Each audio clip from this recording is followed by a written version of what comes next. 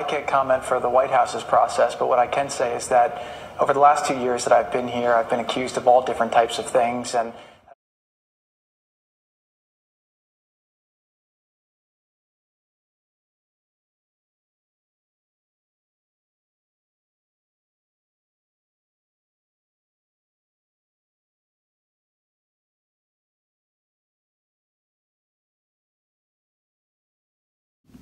them. Uh, when I came to Washington, I had a very successful business career. Uh, I had extensive holdings. I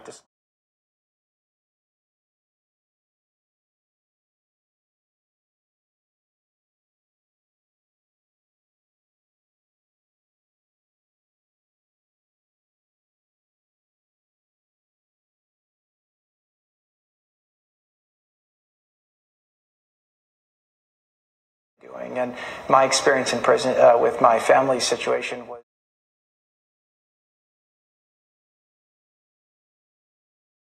Doing. And my experience in prison uh, with my family situation was.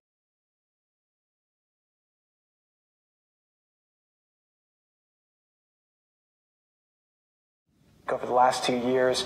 The president's done a phenomenal job of identifying what are our national security priorities. He's had a great team in place that are helping implement it, and I hope I've played a good part in pushing those uh, objectives forward. And I think because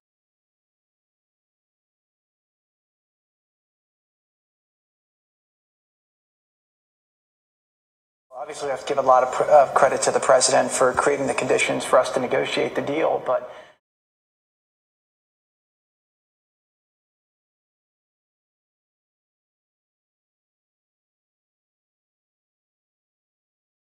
The, the feature that I love that people don't talk about is that we built in a 16 year sunset, which